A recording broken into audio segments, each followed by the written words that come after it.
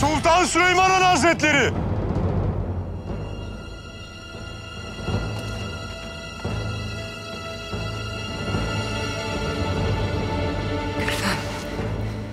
Bu hayır alamet değil. Sen ve Hatice'nin yanına git. Ben de merak ettim. Hünkârım. Hatice nerede? Hayırlar olsun inşallah. Burada olduğu söylendi. Gitti mi yoksa? İstirahat etmek için odasına çıkmıştı. Allah'ım sen koru ya Rabbim. Hatice!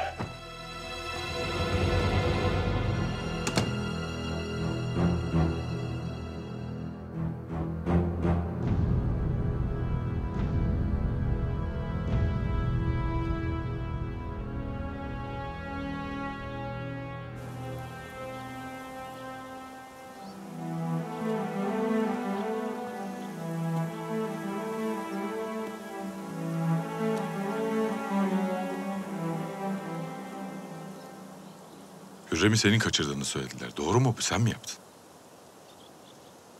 Kendimi bildim bileli. Hep sen varsın hayatımda. Benim için hep başka bir yerin vardı. Hayrandım sana. Rahmetli babamdan, validemden bile çok severdim seni. Hürrem nerede? En çok da vicdanını severdim seni. Bir karıncayı bile incitmekten imtina eden vicdanına, adaletine hayrandım. Her şeye rağmen bir ağaç gibi sağlam ve güçlü oluşuna, Söyle Hatice ne yaptın ona?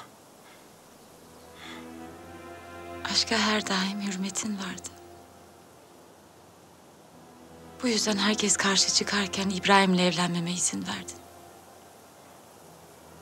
Sadece bu yüzden bile minnettarım sana.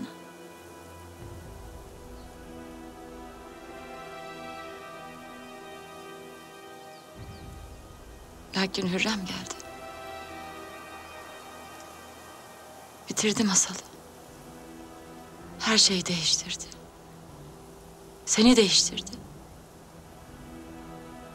Benim vicdanlı, adaletli, sevgi dolu abimi aldı elimden. Gözün ondan başka hiçbir şey görmez oldu. Ne validem, ne ben, ne İbrahim, ne Mustafa. Hiçbirimiz ondan daha kıymetli değildik. Olamazdık.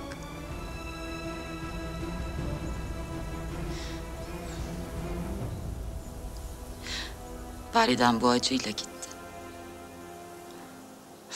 Sonra İbrahim.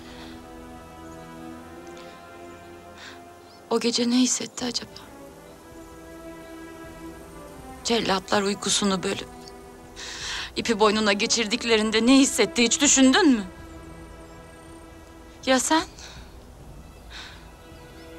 Sen ne hissettin abi?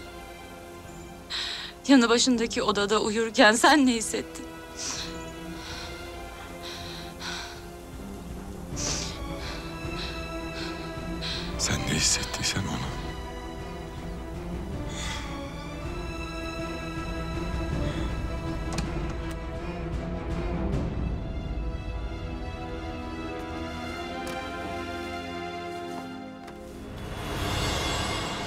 Neredeler? Daha dün yanıma geldin. Acılarımı paylaştığını söyledin. Tekrardan kardeşim olmak istedin. Ben sana inandım. Lakin sen Bu bir ödeşmeydi abi. Sustum. Söylemedim. Asla da söylemeyecektim. Zira acı çekmeni istedim. Benim gibi ağır ağır yanmanı istedim. istediğini aldın. Şimdi söyle Hürrem'e ne oldu? Bunu benden başka hiç kimse bilmiyor. Bu yüzden asla öğrenemeyeceksin.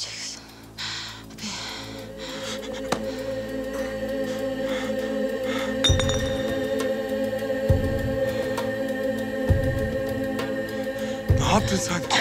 Hatice!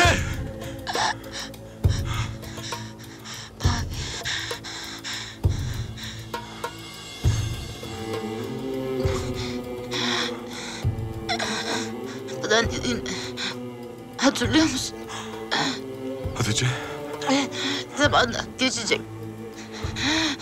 Unutacaksın. İyileşeceksin.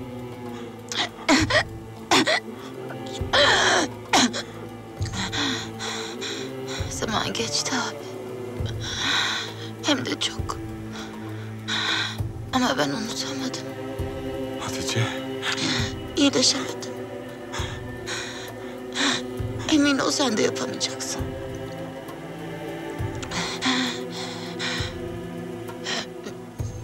Hürrem'in bir mezarı bile olmayacak.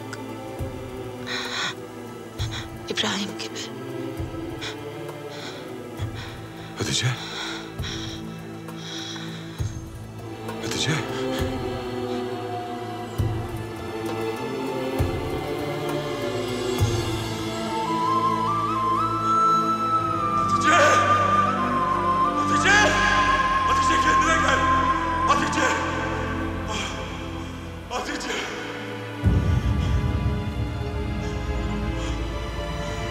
Hatice!